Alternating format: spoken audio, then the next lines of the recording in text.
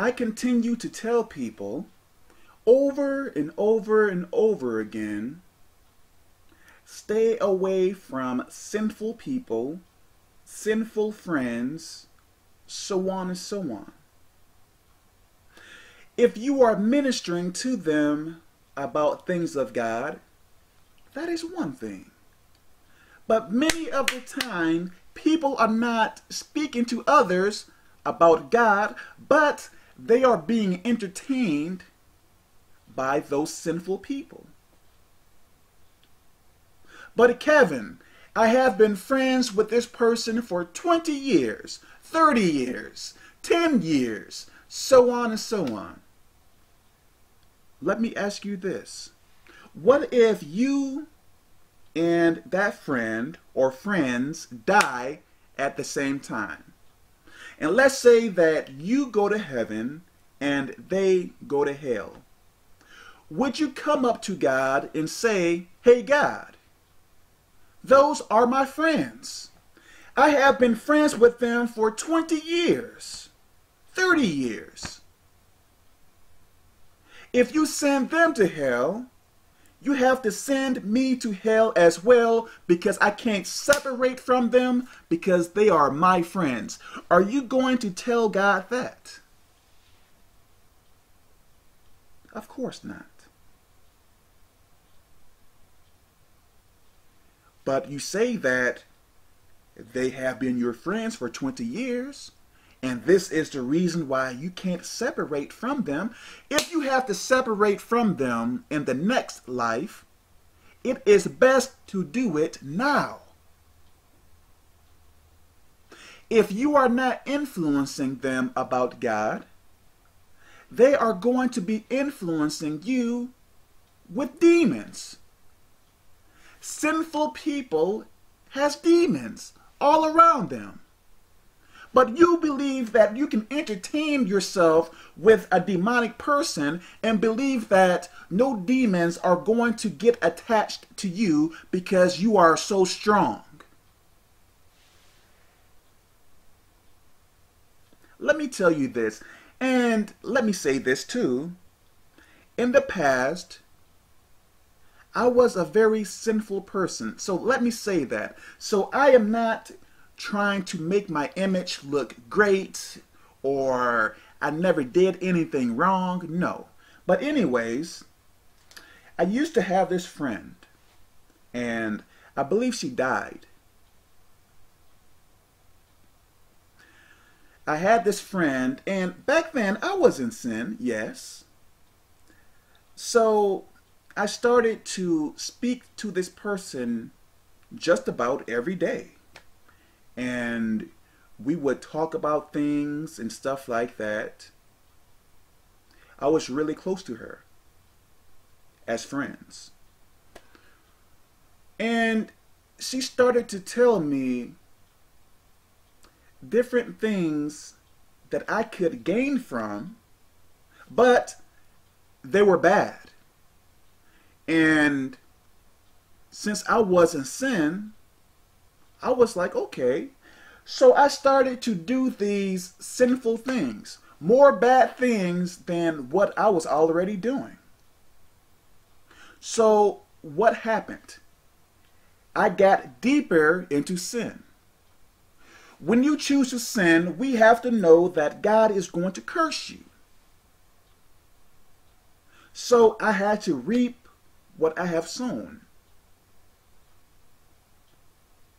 The people that we are around are going to influence us. For instance, myself, back in the past, I used to teach people on how to do certain bad things.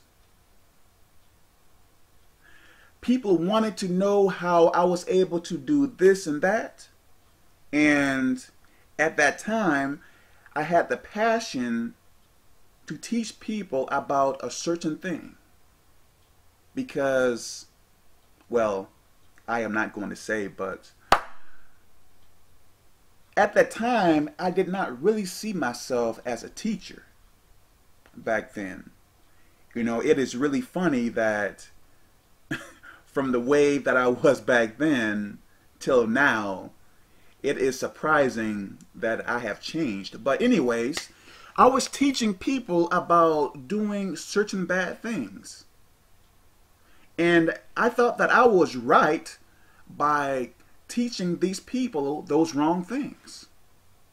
And they was doing those wrong things and it worked for them. Yes, I would think they would have to reap what they have sown, but the bad things that I was teaching them, it worked. So that's why they came to me.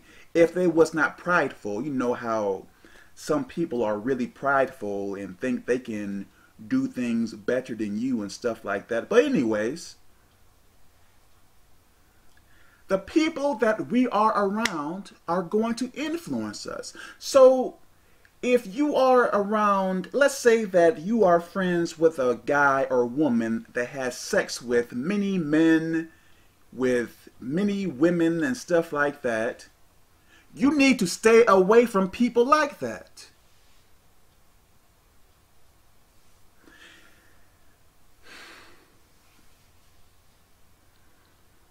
If I meet a person and they tell me that their friends or the people they hang with is like this and like that and like this, if they are still their friend, if that person that is speaking to me is still their friend, I know there is a large chance that they are doing the same things as well. How can you be friends with people that do those things and not do those things either?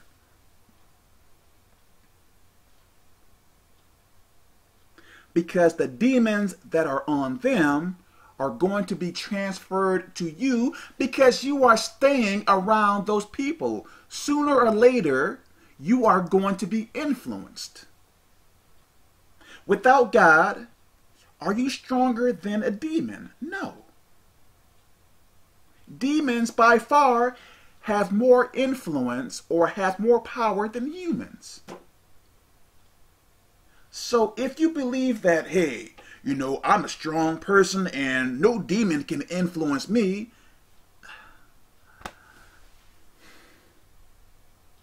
Listen, man. No matter how long you have been friends with a person, let me say this. I was friends with this one person ever since I was in the third grade or something. And when I wanted to change my life, guess what I did? I dropped that person. Oh, Kevin, that is so mean. You are not loyal. I am trying to live for God, and that person is staying doing what we always have done. Yes, I was really close to him and stuff like that, but we are not the same anymore. So I had to let that person go. No hard feelings. Now, if that person wanted to change their life, hey, we can be cool, we can be friends. But no. Even about three or four, three years ago, I believe, I messaged that person on Facebook. I don't know how he is living his life now, but I don't think he was interested in God. We have to separate. Hey, if he won't serve God now and he dies that way, I'm not going to see him in heaven. So it is best to separate now because I can't go around his place and and see him do those things that we did back in our teen teenage years and stuff like that. Doing all of those bad things and stuff. How can I be around that? It is going to influence me. This is why I surround myself with teachings of God. I listen to Christian music. I go around people who speak about God. I teach others about God. I teach others how to do things for God. Everything that is around me, it is God centered. This is the way that it's supposed to be each and every day. Because once you get out of that circle, things that don't pertain to God, if you stay like that, it is going to be difficult for you to maintain your salvation, to do things of God. I'm telling you, Will Kevin, you know, whatever, you know. That is my friend, and they are my friend to the end. so be it, man. so be it. God bless.